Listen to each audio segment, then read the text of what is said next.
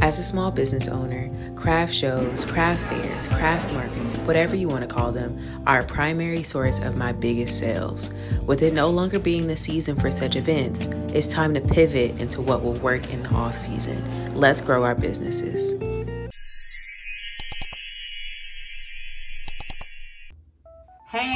Hello, hey y'all. My name is Ari. I love to talk about all things small business, entrepreneurship, pop-ups, and things of the sort. I love to say that I am a mama by day and a small business owner by nap time. And if you guessed it, it's not nap time. My husband's home watching the baby girl. Without further ado, let's get into it. Okay, so the past five months, I've been doing craft fairs and pop-up events just locally in my city. I've done seven events so far in the last five months and my experience has been overall great. It has been the driving force of all my sales for my business and it has allowed me to just meet different vendors, different customers, all within my community that have just poured love into my small business. So with it being a slow season, I'm a little scared, but scratch that, I'm not scared. I am extremely motivated to make this off season a profitable season. So what I'm gonna be sharing with you all today is how I plan on making this off season a great season, a season of profit, a season of growing, a season of just elevating my business while having this break from craft fairs and pop-up shows and markets of the sort. Getting right into it, we're gonna talk about online sales and just having a, a website. With a website, you are exposed to so many people. Depending on how well you market your products or what advertising you pay for, you can have a huge customer base. I highly suggest that you think about getting some type of website or online platform to where you can sell your items I personally use Etsy and it has worked really well for me right now. I know a lot of people talk about just the different fees that Etsy has and I'm not gonna lie, looking into those fees, they can be a lot. But for me personally, I would rather pay those additional fees than have to worry about like my own offsite ads or using another site to create shipping labels and things like that. So for me right now, I'm utilizing all of Etsy's features and of course I'm paying the fees that come with it, but it's worth it to me. I know that there are so many other just websites out there that you can create and that don't have these fees. But what I've seen at the end of the day, it all ends up adding up to be around the same. So you have to kind of count your wins and your losses and just really sit down with yourself and decide on what you think is worth it or not. A website that a lot of people use or just a platform that a lot of people use is Shopify. I've heard a ton of good things about Shopify and if I'm right, they allow you to just like customize your website so you can make it more of your own and it has a lot of the features that Etsy does. I need to do uh, basically like an Etsy versus Shopify type sit down with myself and just write out the pros and cons of each because if I'm being honest, I might switch over to Shopify. If you use Shopify and you've had good experiences with them or a good experience with them, leave in the comments your experience so I can think about getting a Shopify. So during this off season, another way that I'm going to be making money is by allowing my products to be in boutiques and shops. If you've been to my channel before, you know that I have had products like earrings and the sort at a boutique locally for about two months now and I haven't told you all yet but I recently just put my items in another shop. That is a huge accomplishment. With it being the slow season it's gonna really work in my favor due to these shops having a lot of foot traffic. So with your products being in shops and boutiques, it allows more eyes on your product as opposed to everything just sitting inventory in your home. So I would suggest that you reach out to local shops, boutiques, places where you can see your work at and that have your ideal customer. I highly suggest you go to these, my baby is just, Nora. So I highly suggest that you go to different boutiques and shops locally or even look on their website online to see if they are accepting small businesses to basically like sell their products in their store. With boutiques and shops, they will either offer consignment or wholesale options or both. With consignment, a lot of people like to do a split. It is kind of like a it's like a trade almost, but not really. So for me, the consignments that I do, I do consignment at both the shop that I just recently got into and a boutique. So for the boutique, I have a 70-30 split. As a designer, I receive 70% of the profit of the sales and the um, boutique receives 30%. It could seem like a loss to people if you're not pricing your items as they need to be priced. And I can get into how I price my items if you all want me to.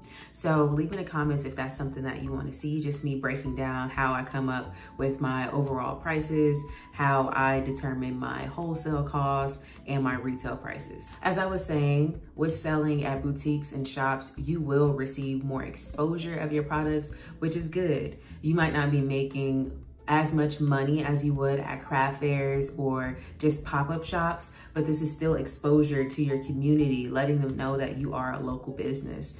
And a suggestion that I have is just creating a meet the maker type display so people can know that you are local. Because more times than not, when people see products in stores, they automatically don't assume that it's local, especially if it's in like a boutique or a shop that doesn't mostly buy things from local businesses. So for me personally, having a meet the maker sign and just identifying that, hey, like I am local and these are handmade or whatever is special about you and your product, put that in your meet the maker form so people can just get to know you a little better, want to support you. This meet the maker sign basically acts like how you would act if you were at a craft fair or at a pop-up shop.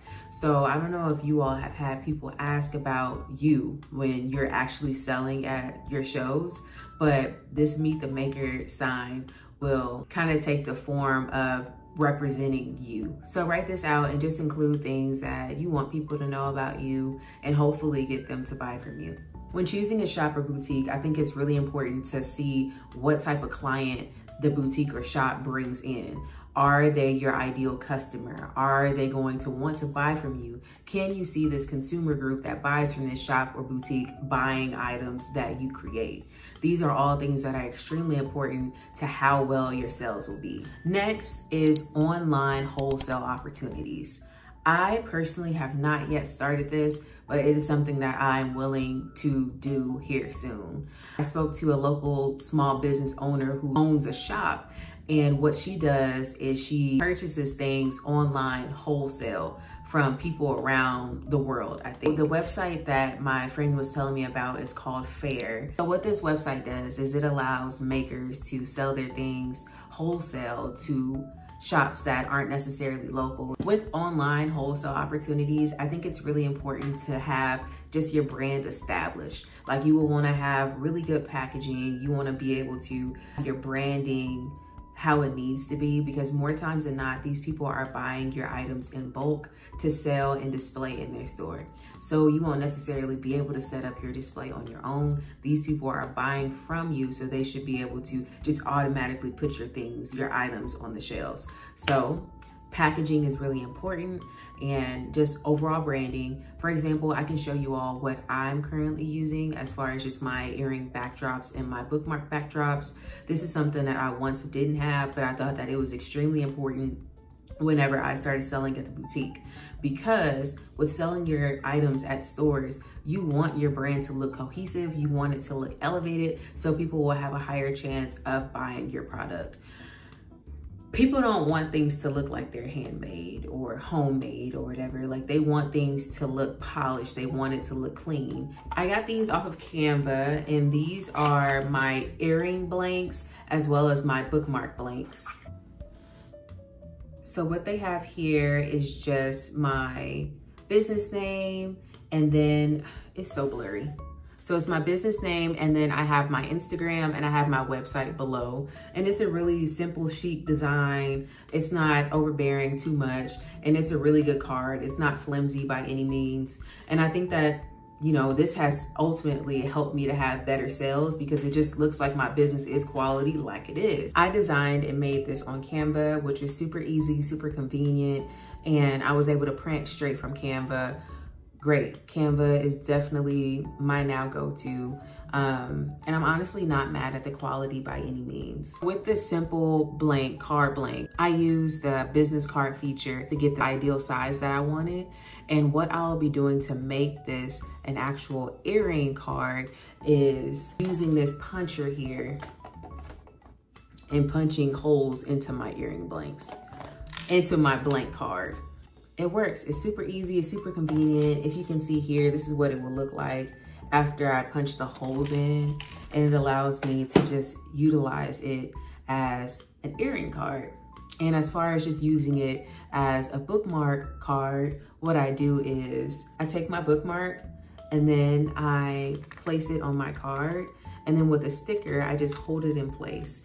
And it looks super classy, it looks nice, clean, it looks professional. This is an example of just some earrings on the card. And I had this off to the side just because the, the hole was off centered and so was the earring base. So it was just kind of like an example piece for me to just reference. But this is what it looks like.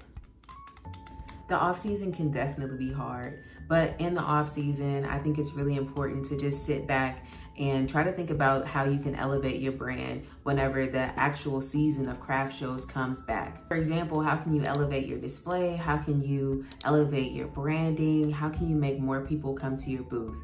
So although this is the off season and these are helpful tips on how to be successful during the off season, I think in the off season, we also need to focus on how we can be more present and more elevated at our craft shows coming up. I hope this video was helpful. If you like this video and you wanna see more of kind of similar content, I will leave a playlist on the side. Thank you so much for watching. I'll see you later. Bye.